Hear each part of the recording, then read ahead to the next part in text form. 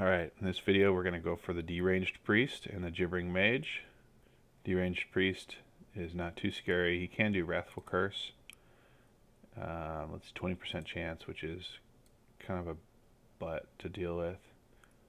But it's only going to affect one person. He can do fear as well, which can be really bad coming from this side because the gibbering mage is right north of that.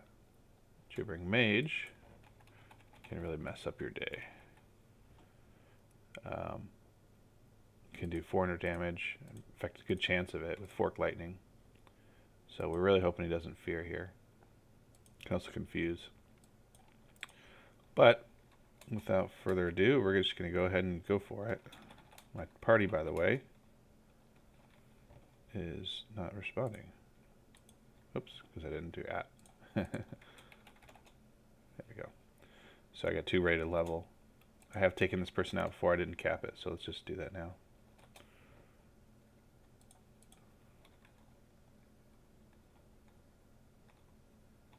Wrathful Curse is okay. oh, I missed a round. That's not good. Okay. That's alright, actually. So I got Wrathful Curse here. That is a really good spell for Priest. Check that out while I'm healing up for the next battle.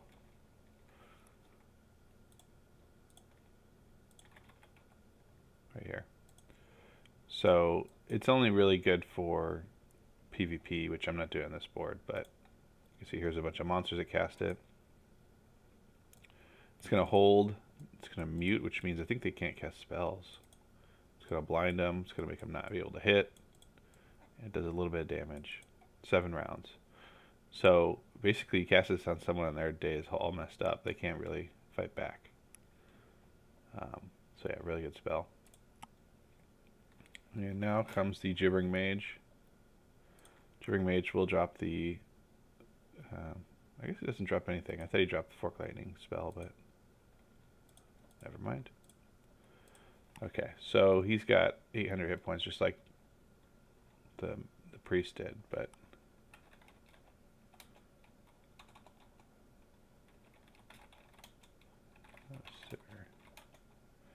Okay, I want to get him healed up before I go in, just because I'm expecting some damage to come through. Okay, here we go.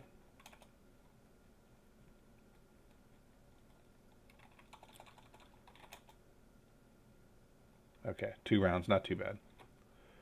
Thankfully I have some pretty high damage spells. Fork Lightning, like I said, could really mess this up, but it's only a single target, so not expecting to wipe out the party. The high dodge chance you can see in high AC as well.